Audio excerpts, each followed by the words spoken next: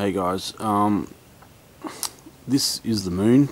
Uh, apologies for the glare, but the white dot that you can see is Mars. Uh, according to astronomer friend of mine, it's the closest Mars will be, or has been, uh, to the Earth uh, in what two years. So two years ago, it was in this same position, I think, or the same proximity.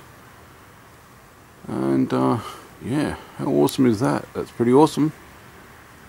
Um, I don't know how far I can zoom in on Mars. Oh my god. Did you see that?